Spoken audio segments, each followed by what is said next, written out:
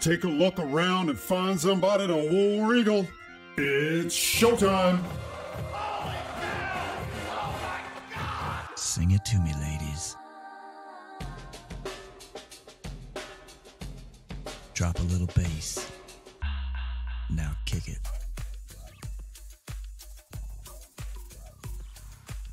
Well, hello, Auburn, Alabama, and all points around the globe where War Eagle can be heard and return with joy.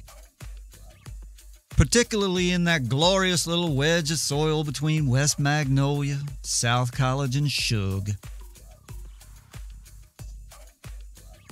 Down past the softball field, out Wire Road, heading out into the sticks. Glorious. Good morning, good afternoon, good evening, and good day to you. And as always, I hope this message finds you truly well and joyful and that you are bearing the burden of your legacy by teaching the youngins how to say Shug Jordan.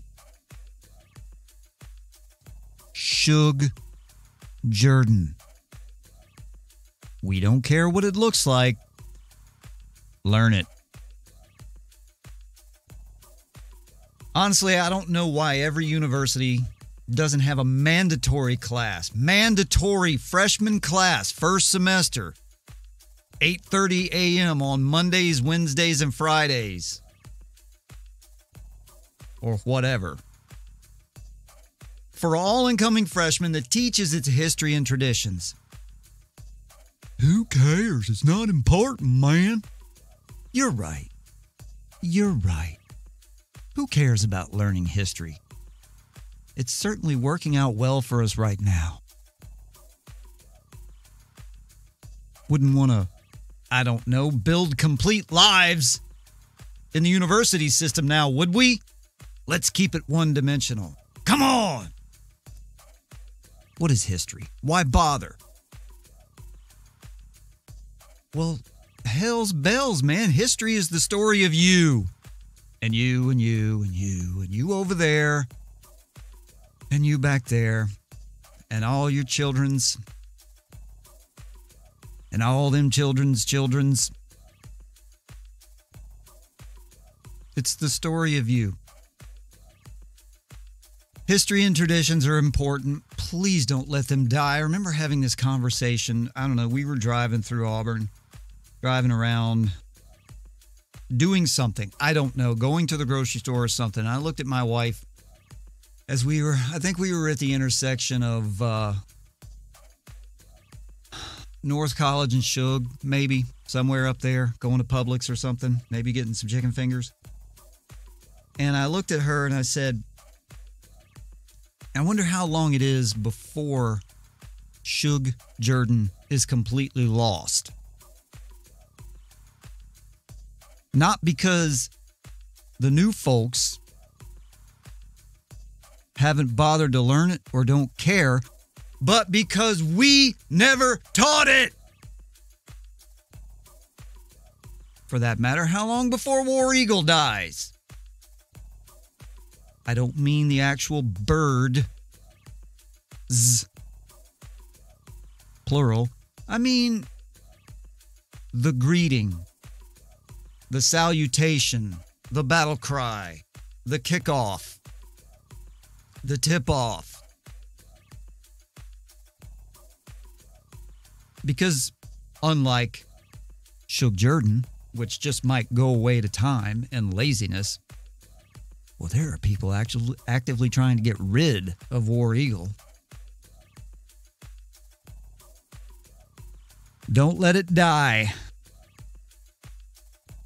Well, that was a screed I didn't mean to get into right now, this early anyway. Hello, consumers of Auburn broadcast transmissions, and welcome to Auburn Stuff, the podcast where we discuss the philosophy of life in orange and blue. Warm greetings as well to our valued and beloved listeners from Spanish Fort to Guntersville and in Columbus, Georgia, Columbus, Ohio, Miami, Florida, Miami, Ohio, for that matter, Los Angeles. Yes, hello to you out there on the West Coast. And the Aviemore, Scotland, UK. Thank you for joining the fun. And today's show is brought to you by pollen and all the snot and misery it brings.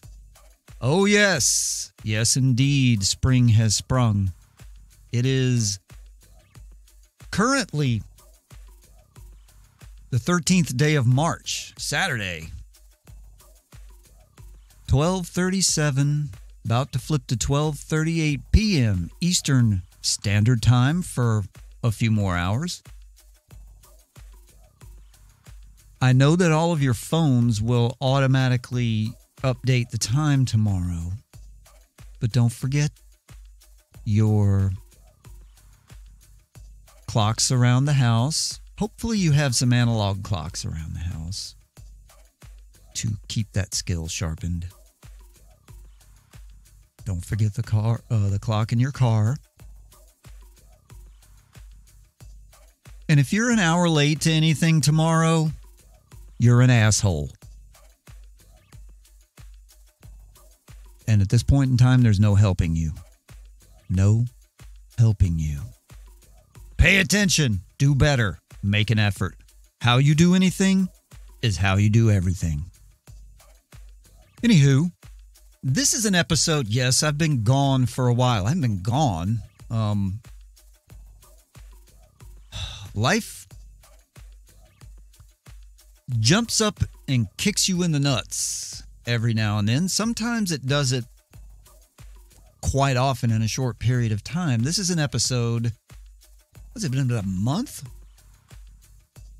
And this is an episode that I've actively sat down and recorded bits and pieces of about eight times before something horrendous happens in or around my house or to a family member or from a family member, whatever. Look, hey, um, if you have young children, enjoy. Take it all in. Because pretty soon they become teenagers. And there's no more horrendous thing in the world. I think the worst thing on earth is a seventh and eighth grader. And then it just levels off into the depths of hell for a while before it starts climbing its way out. Hopefully, if you've done an artful and clever, diligent job at trying to wade through this god awful subculture of misery that we've created by shoving electronics into the crib. Anyway. Yeah, don't have children. They become teenagers. That's fun. So, yeah, anyway, this is uh, an episode that uh, it started out as following a basketball game. Then it became, hey, they announced the uh, um, spring football practice schedule. And then, hey, they announced A Day. And then um, another basketball game, and then oh, it was the end of basketball season, and then I don't know. Now it's just spring episode number one. It's not officially spring on the calendar quite yet, but spring football is moments away, mere moments.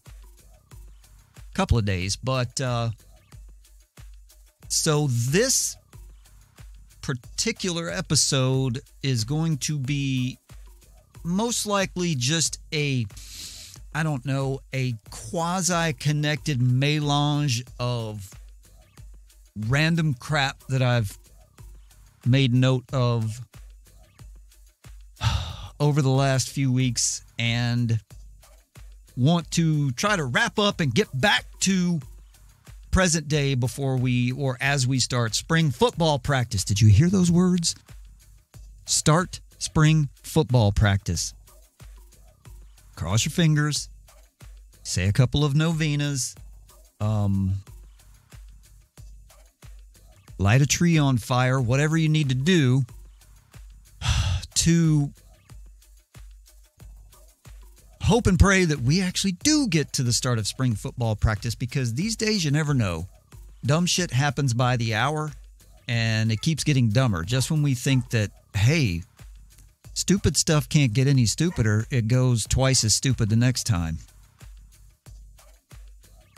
Although, thanks to the intrepid leadership of the SEC in the college football world, we actually did start and complete a football season last year that I really didn't think was going to happen. I was pretty sure it was going to get started, but I never thought they'd get more than a few games through, much less all the way through, and name a uh, national champion. Sure. How many games did Ohio State play last year? Like four? Anyway, so let's uh, scroll through the, as I say, disconnected ruminations and see what we've got going on here. Some bees in the bonnet. Um, and uh, basketball. Okay, basketball season is over.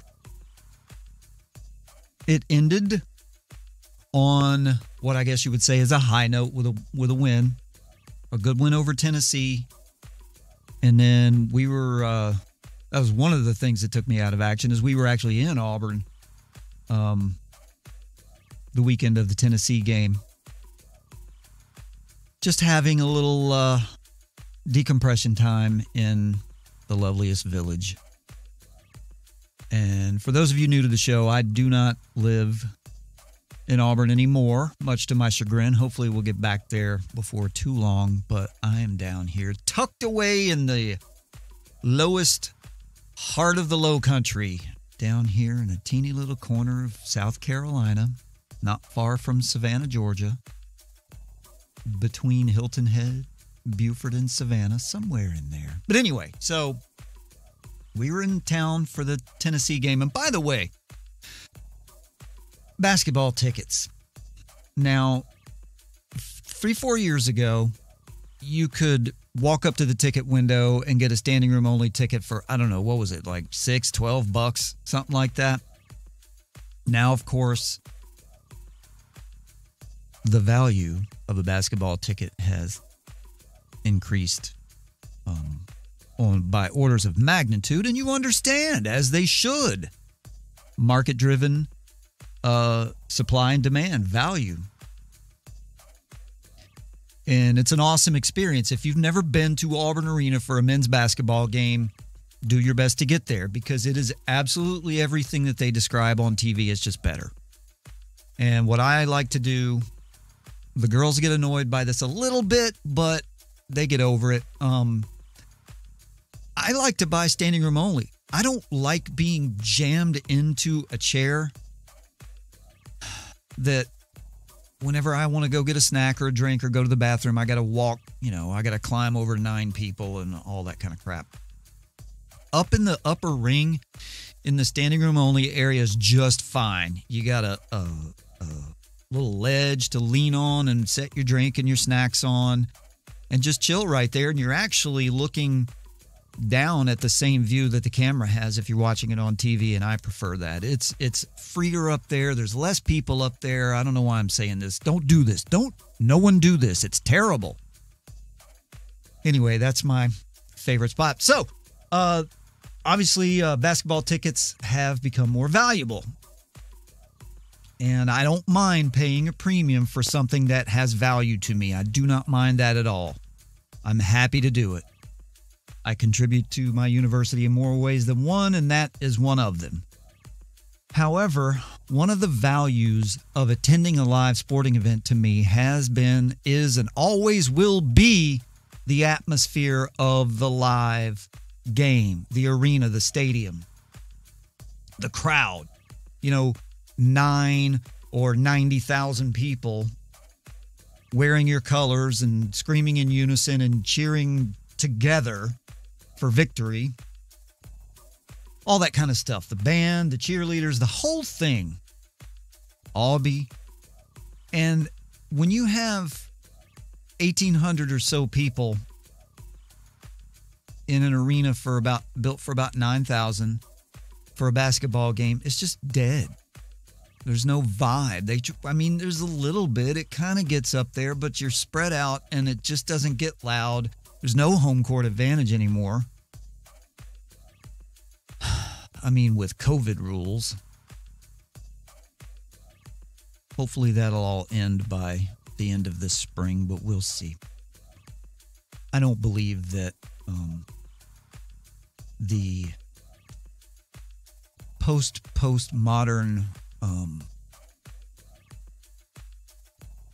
controlists, let's say, who have slithered their way in to the corners of power will will let go of the control of the public that they've kept an iron grip on for the last year, but we'll see. They're going to squeeze hard enough for long enough, and people are going to absolutely lose their shit if they try to keep this going. They're trying to bribe everybody right now with a uh, relief bill. Anyway, basketball. 1,800 people in an arena built for about 9,000 is not fun. Therefore, the dichotomy of value versus value and scarcity versus my resources and my desire to attend the sporting event, which my desire to attend it was great. And you couldn't get a ticket. There was no one, I don't know if they threatened anybody uh, nixed the whole people selling tickets let's not use the S word, but people selling tickets around the venue as you would normally find. Even people with extra tickets, you know, got hey, I got two more over here. You want to come in? I need two here. None of there was none of that. There was barely any humans around the main entrance of the arena at tip off, just before tip off of that Tennessee game. And of course, I'm looking on the um, uh, what do they call them? Secondary market sellers online. You know all of them. Uh, and they have tickets to this game that had just tipped off seconds before for $300 plus. And I'm thinking, you genuinely have to be kidding me. I'm not paying $600 to get my wife and myself into a basketball game. And let's face it, I love my Auburn Tigers. I love my team. I love the guys on the team, but it's it's a down year, so the value for the scarcity is not there. You take away the crowd, you take away um, any sort of payoff for this game, uh, win or loss, and and 600 $600 to go sit in a 20% full arena with no no payoff at the end is abs- absurd. And I even went up to the ticket window and said, "Hey, stupid question, but do you have anything? Did anything get released? Any no-shows, any this, any will calls, anything got released?" Nope. You can try blah blah blah. So I did. And I even thought, well, I'll keep refreshing this particular ticket selling uh, app that I have, and I'll see the further it gets into the game because they got to have an algorithm that decreases the ticket prices as you get further past the starting point because otherwise, whoever had their tickets on there is just going to lose them. And what's the point of that? And it got all the way to halftime. We walked over to a uh, an eating establishment with a colossal wall sized television and sat there. It, it, was actually better than sitting in the arena. There was, I don't know, 200 people inside this restaurant, all watching a basketball game, all cheering and eating and drinking and doing all that. And that was a hell of a lot of fun. That was the same. It was the same vibe as uh, just about as a full arena with the view, the size of that TV, the view, basically the same view and I didn't pay six hundred dollars. But anyway, by halftime, those that ticket listing had gone down to about. Oh, they, I think they got all the way down to eighty bucks.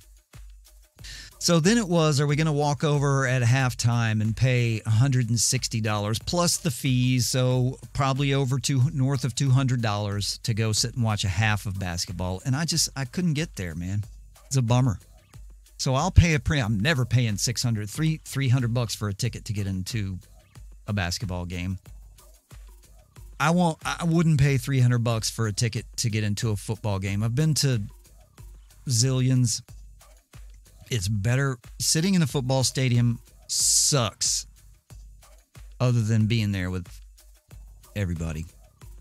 It's just not a good experience and and the, the conversation regarding the in-game experience, particularly for football where you're sitting outside in a giant wok baking to death at any game prior to mid-November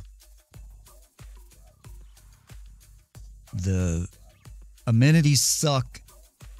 The metal benches suck. The Wi Fi sucks. It's just essentially about being there with the people and screaming and supporting your team, which I will do as much as I can, but my resources have to be allocated to places that are responsible. And I know I should just go ahead and get back into the season ticket pool, but we'll see how that goes. It's a five hour drive for me and to do that, whatever, six, seven times a year. And I know I could resell the tickets. But anyway, we're getting way down. I got there from being in town for a basketball game. So, anyway, basketball season is over. And with the end of it on the last game, uh, everyone's favorite, well, almost no one's favorite except Auburn people and folks from Southern Indiana, Bruce Pearl, Mr. Coach Bruce Pearl won his 600th game. Good for him. By the way, the NCAA and various other entities and people in the college basketball world who seem to have a giant stick up their ass for Bruce Pearl need to, uh, well, they need to pound sand. So 600 wins for BP. Uh, that includes a record of 231 and 46 at Southern Indiana. And in Milwaukee, remarkable, remarkable work. The man does remarkable work wherever he goes. 86 and 38 with a sweet, sweet 16 run at Milwaukee and other tournament appearances there, I believe. And then over at uh, um, Jumpsuit Orange, we got 145 and 61. And then with our beloved Auburn Tigers, Bruce Pearl at the helm, he has amassed a 138 and 92 record with a Final Four appearance. Should have been a national championship, but apparently standing four feet, staring at a four feet away from a guy that you're staring at who double dribbles in a Final Four game where you're supposed to be the elite of the elite officiating crew. I don't know. Apparently, that's just not a thing we're going to worry about. So, basketball didn't exactly end like we wanted it to, didn't exactly begin or stretches in the middle like we wanted it to, but you cannot ignore the fact that this team was an incomplete team from the beginning, all the way through. There's no use rehashing it, all of that because if you need to be anyone who needs to be told how and why this was not a complete team through the season and also be reminded that it was the second youngest team in the entirety of NCAA basketball, well, you can't be helped. So there's that. They did what they did. They were fun to watch. If you have some kind of agenda, if you bitch about Bruce Pearl or some of the players because they lost a basketball game, dude, you got to get a grip. You genuinely need to get a grip. And you're you're some kind of coattail bandwagon jumping fan and fan schman, whatever. You you're either part of it or you're not. And I'm not saying we don't criticize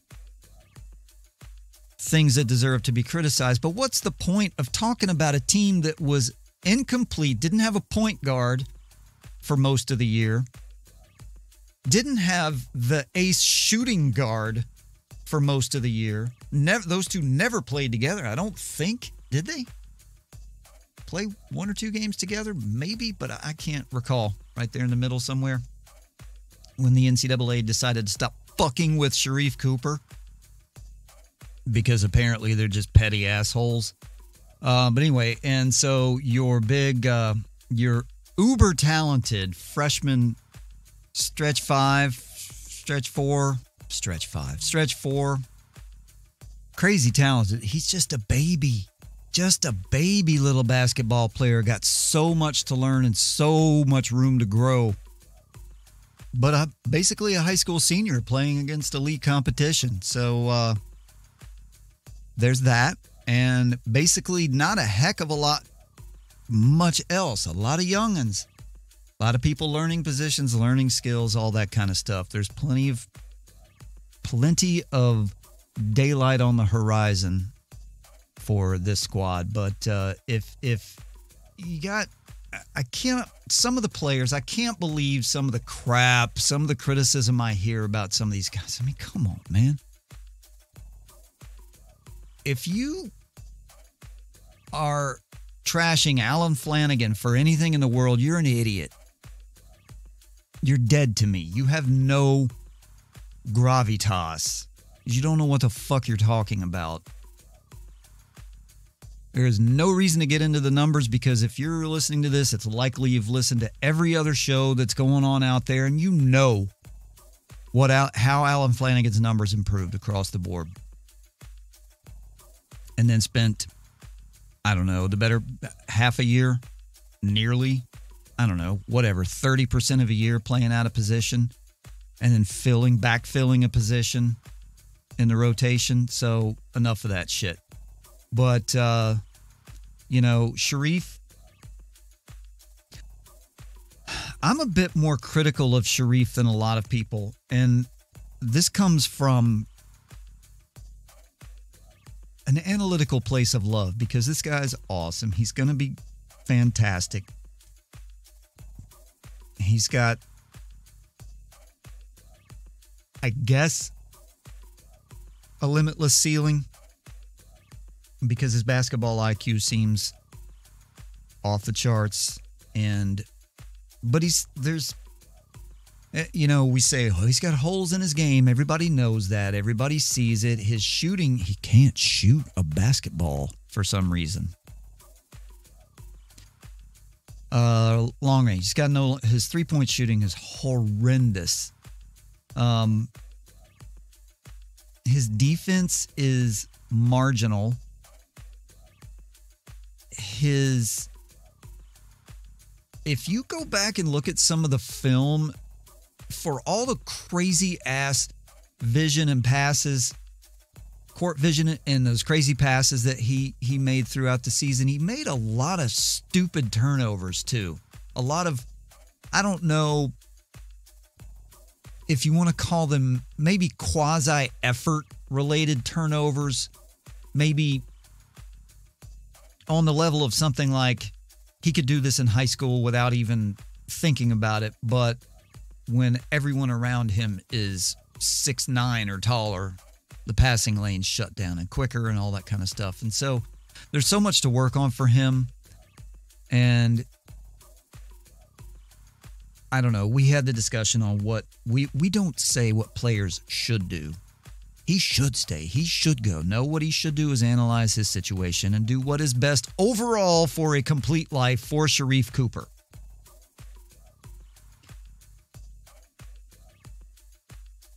he could benefit monstrously from another year in college in more ways than one but he can also get the same kind of if if not maybe a higher level of training and coaching on the next level. And he's not going to play on an NBA roster next year. G League whatever.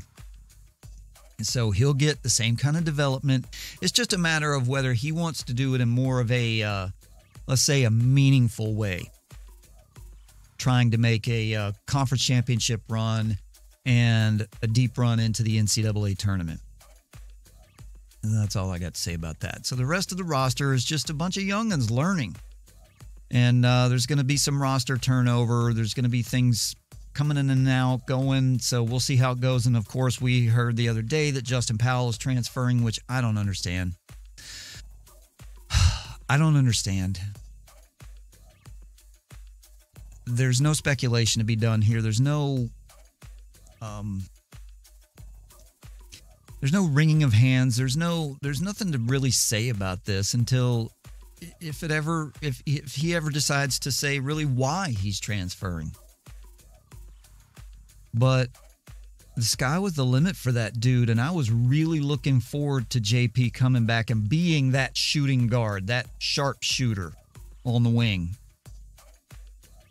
Because my god, more than anything in the world we needed a shooter this past season. Holy cow. We could not shoot. And our our shooters Devan well, I mean Devan Cambridge. I I love you, Devan Cambridge, but what man? You cannot be you can't be that streaky. You just can't. Dylan Cardwell, I liked him from the beginning. Again, stop criticizing the dude like he's supposed to be you know, on the level of a junior or senior that you see around the SEC and around the country. He's a freshman. I like his I like his skill set and I like his attitude. And remember, you cannot complete a championship team with a bunch of five-star one and dones. A bunch of McDonald's All-Americans. You've got to have anchors foundations, bases, guys that stay three and four years, continuity, leadership. And I see Dylan Cardwell bringing that to the table. So that's a wrap on basketball. They did what they did. I watched every game.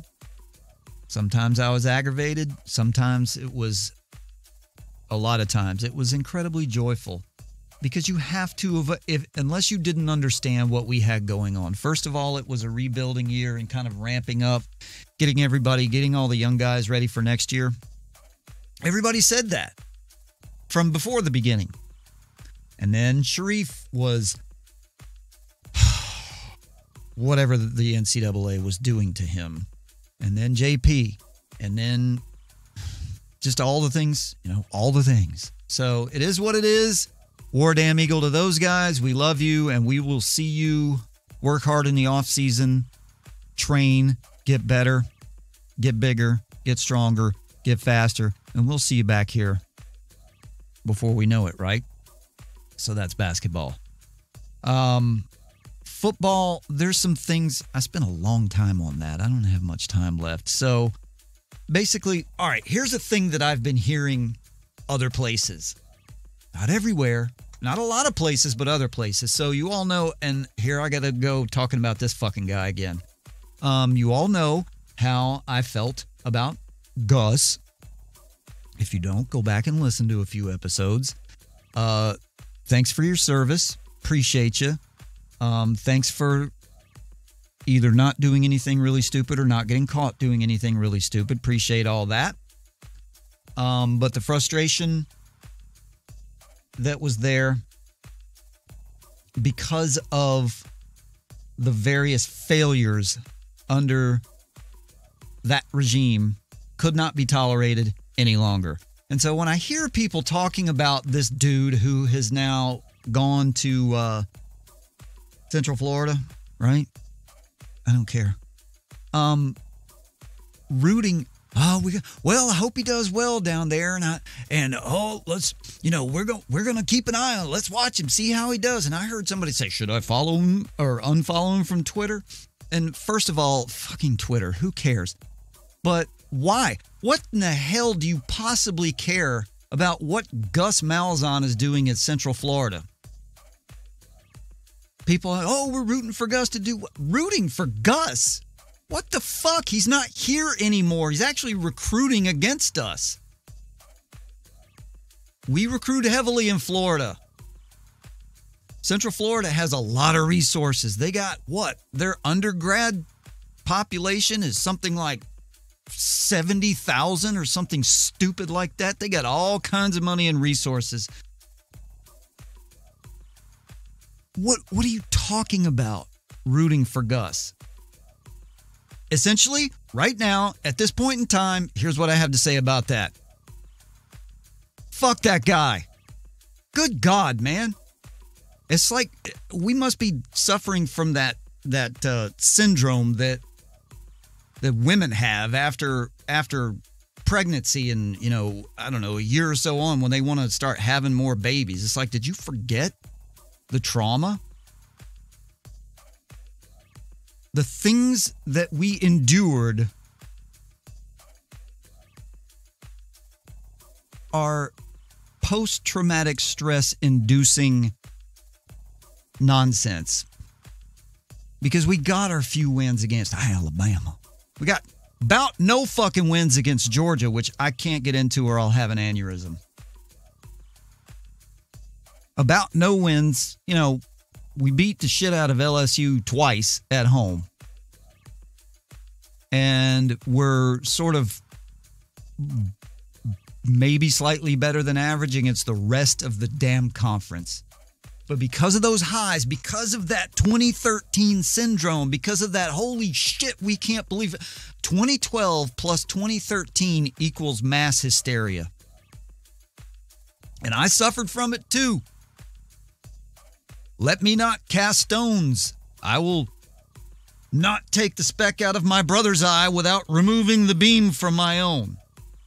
But you have to let that miasma clear out from the atmosphere and look at what all the things that happened and look at it down more on a micro level than on a macro level, like uh, how many wins or dumb shit like that.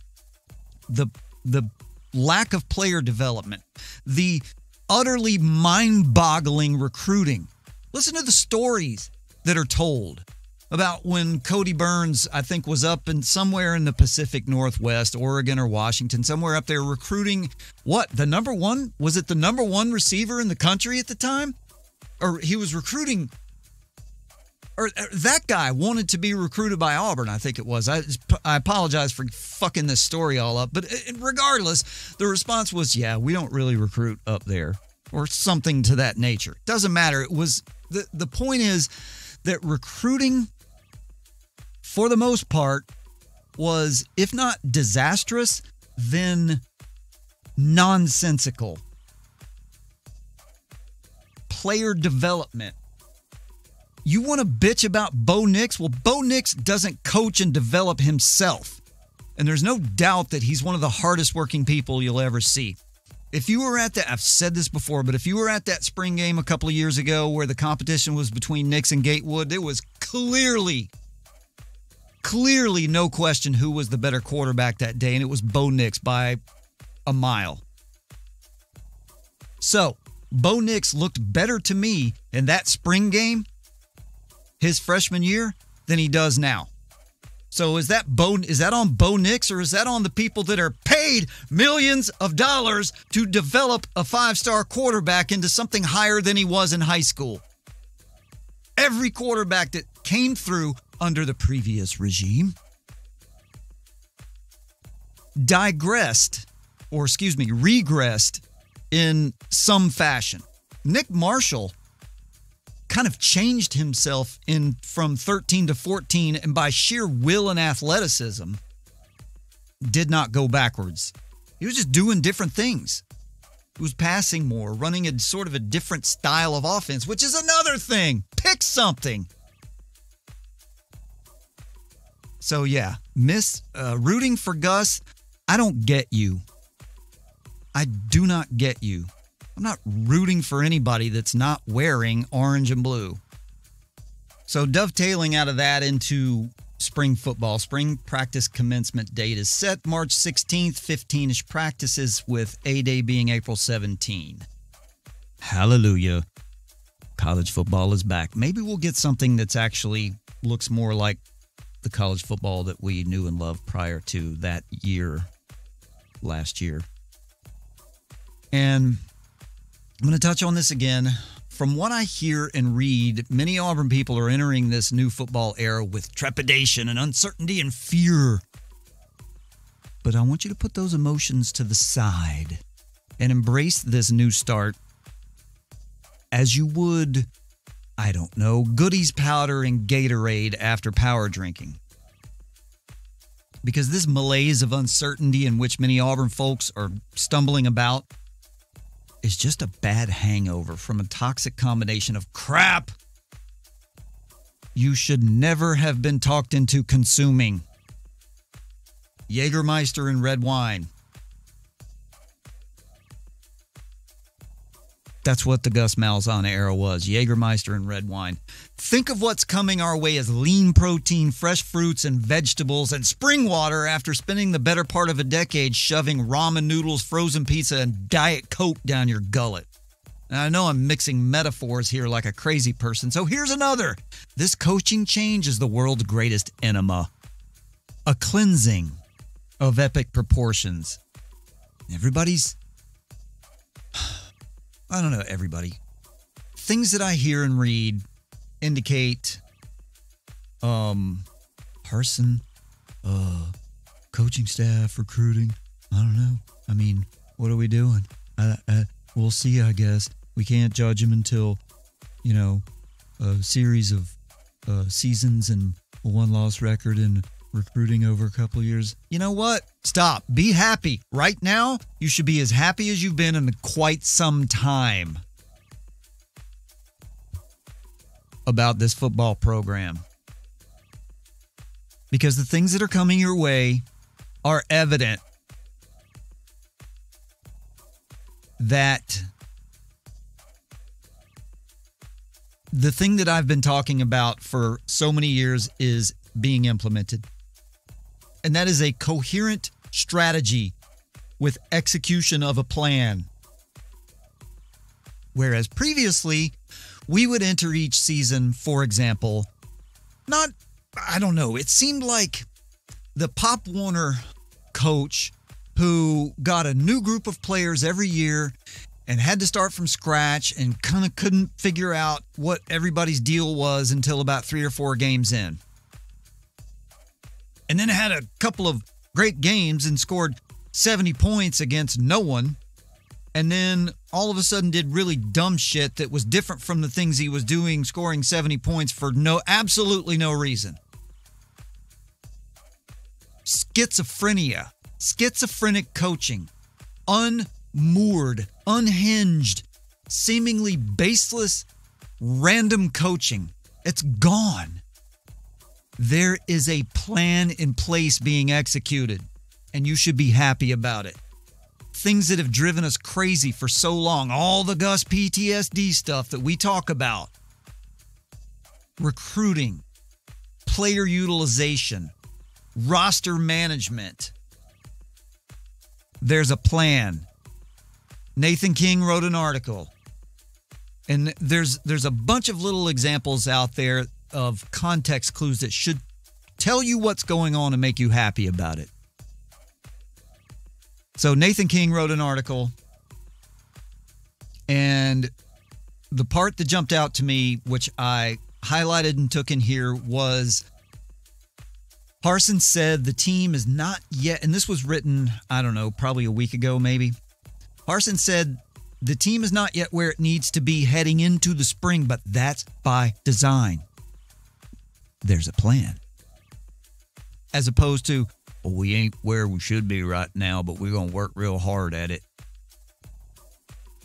They'll be exactly, back to the article, they'll be exactly where he and the coaching staff want them to be developmentally at all times. Does that sound like a plan and a strategy? Being executed? Yes, it does. Harsin said he doesn't want players or coaches getting ahead of themselves this winter, spring, summer, or fall. His master plan, I'm sorry, let me back up for a second. His master plan is for the team as a whole to be peaking right before the first game and not a moment sooner. So basically, what you can take from that, you can forget everything that was said and take from that there is a plan being implemented and executed. That's all you need to know about that. The rest of it is filler. The rest of it is not for you to worry about. Go live your life until the start of football season. Come on back, enjoy some spring workout news, and go to A Day. Hopefully, they'll let us in. There's a plan in place. All of those things that used to just absolutely make our eyes bleed, like Harold Joiner. What the fuck is Harold Joiner doing? No one knows. No one, none of us knew. Nobody on the coaching staff knew. None of the players knew. What's he doing? I don't know. We'll put him in for like six plays a year. Why did you recruit the guy? You can say that about half the damn roster.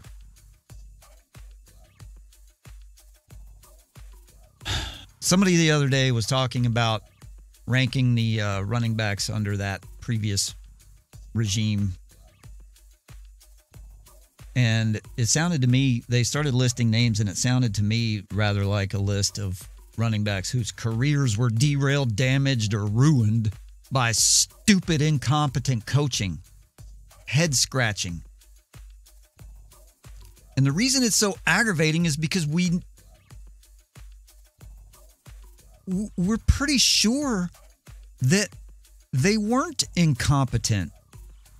We don't know why they acted incompetent from time to time in bizarre times. and Didn't seem to want to beat our main rivals. Loved beating the shit out of Arkansas. Um, so yeah, player utilization, like Shaun Shivers. I, I just Shaun Shivers is a bowling ball that's really incredibly stupid fast. But he's what, five foot seven? Something like that. And you're gonna run him up into a bunch of six foot five tackles, defensive tackles and, and guards with linebackers crashing down because they all knew what the hell was coming. I don't know why. Why in the hell was that guy not running about nine wheel routes a game? Put him in the slot.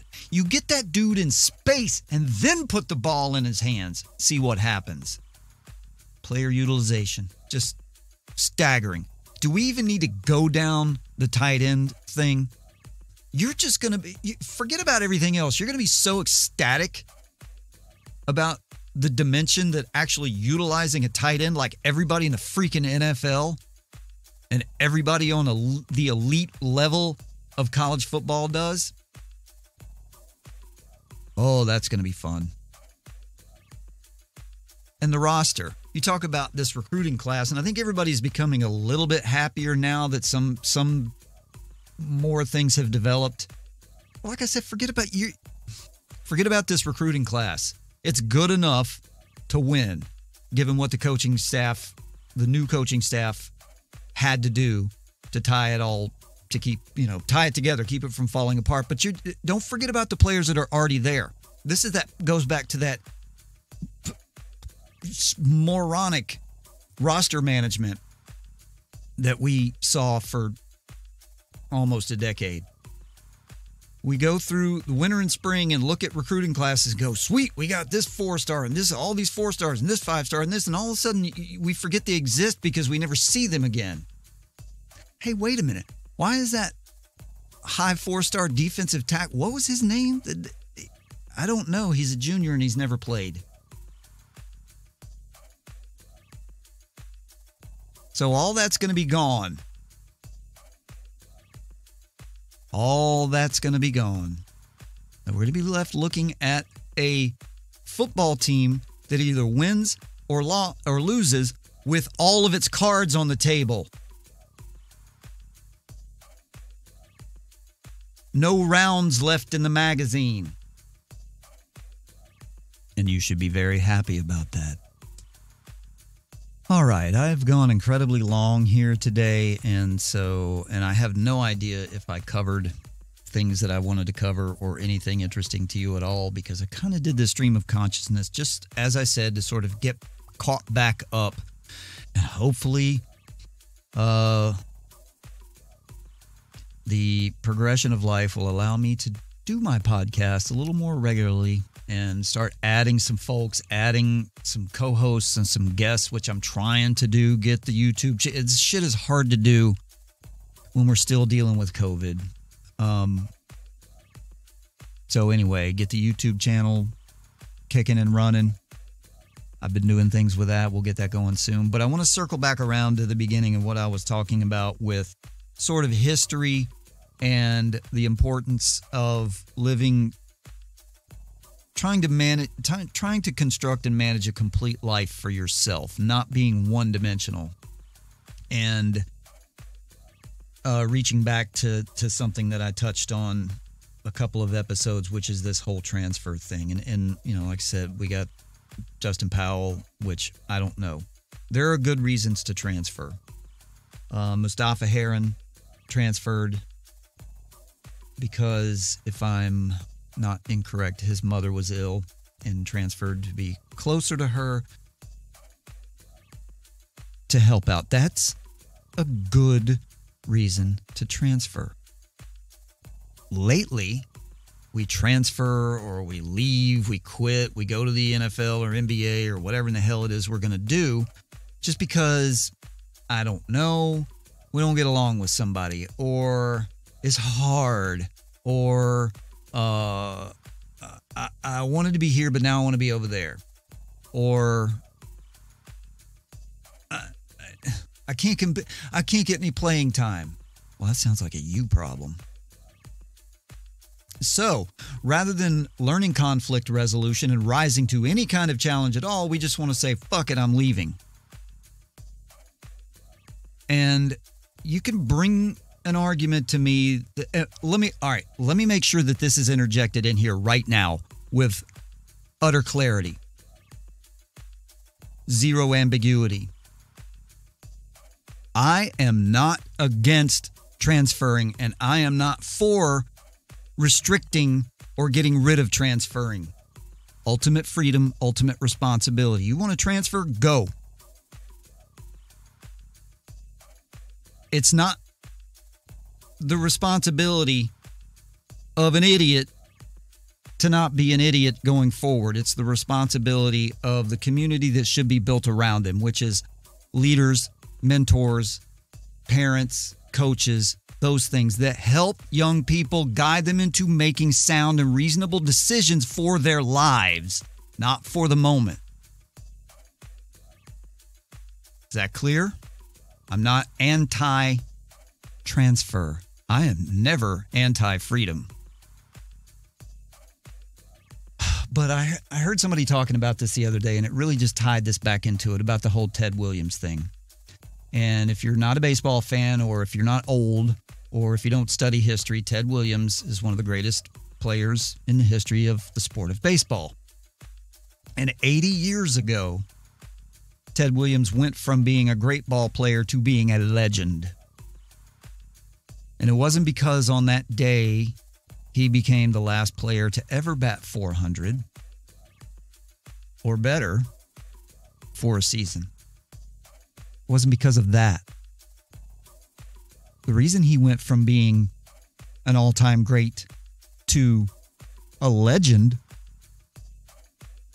is because people were telling him to sit out the final few games of the 1941 season to preserve his average. Ted, you got it, man. Just sit down. You're statistically above 400, man. You're going to risk it if you go play more games. Don't play. By the way, does that sound familiar? Hey, man, you're going to risk something. Don't play. Don't play in your bowl game. And and again, I don't care. Play or don't. But make a good decision for your own life. Skip your senior year. Sit out for COVID do this, that, and the other. How long, at what point does this stop? This, hey, man, you need to preserve yourself for the next thing. How about you need to prepare yourself for the next thing? And the next thing might just not be sports.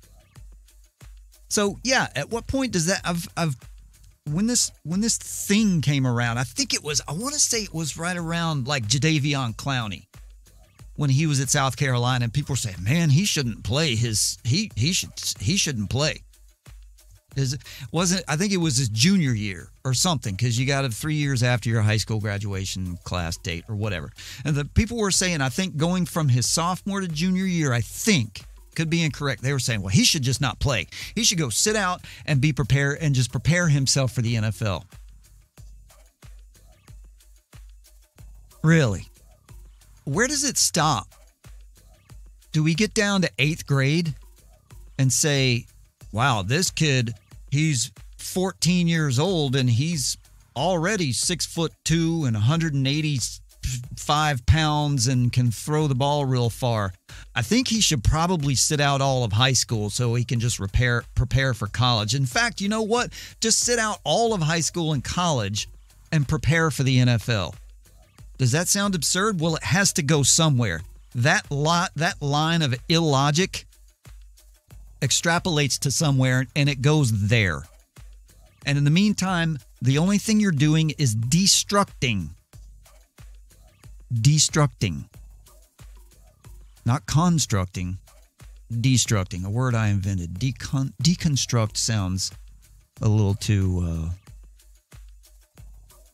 polysyllabic. So I wanted to bring it down there. Destructing lives. You are not allowing people to build complete lives. And I want you to stop and take a look around at this world today because this is where it's led. Yeah. So, Ted Williams, Ted, you should sit out. Ted said no. And he quoted, he's quoted as saying, I either make it or I don't. In his autobiography, he responds to this coward's refuge of not playing to preserve a record by saying, Well, God, that hit me like a goddamn lightning bolt. What do you mean I don't have to play today?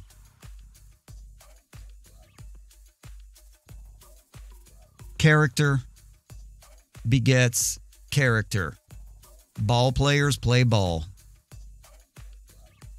There's an ethos that's not only not being taught anymore, it's being aggressively disparaged and disregarded as valorous.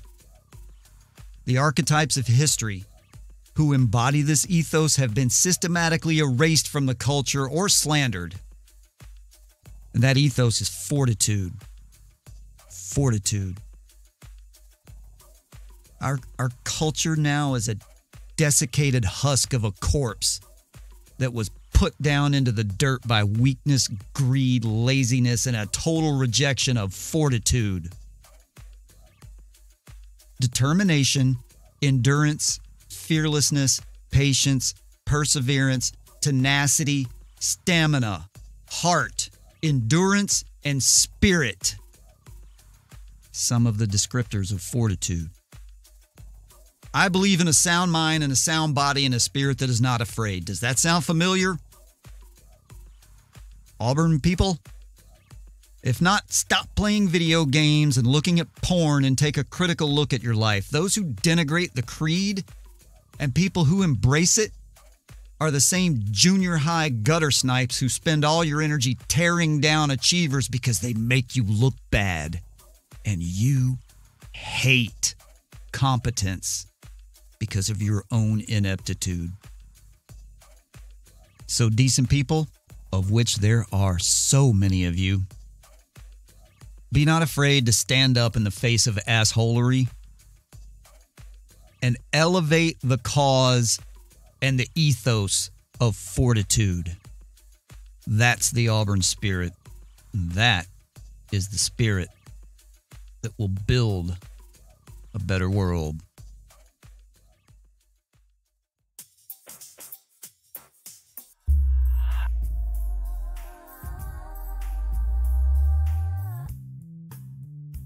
And with that, I bid you all a good day.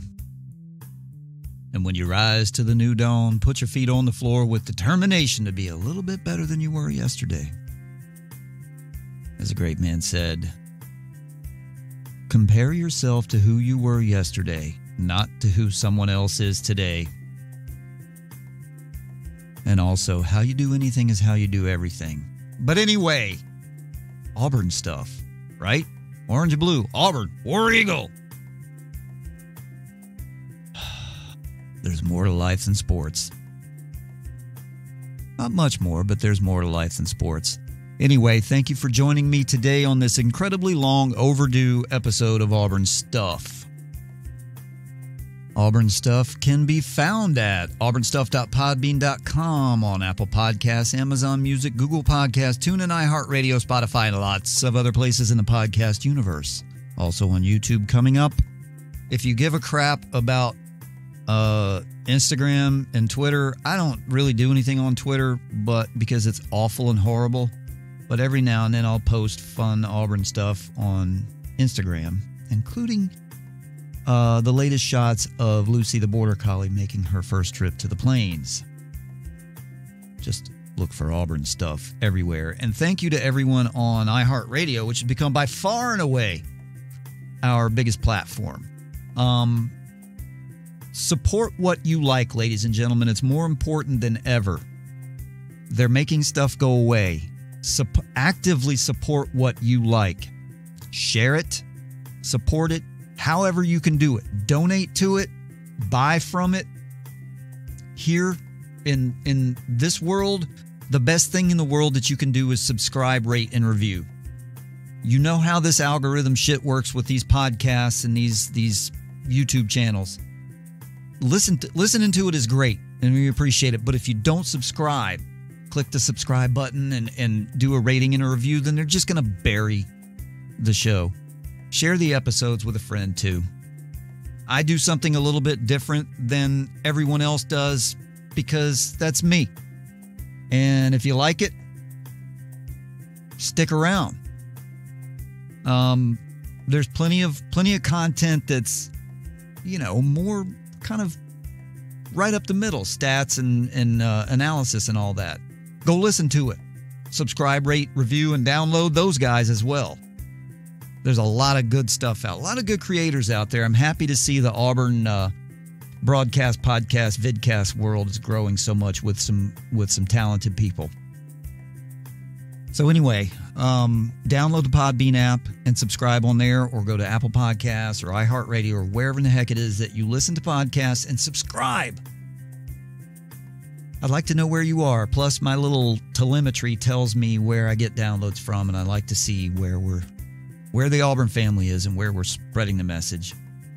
So, as I get on out of here today, I always like to remind you be mindful, be fit, be authentic. Sometimes it's all you have, but most of the time it's all you need. And that's fortitude. Until next time. War Eagle, everyone.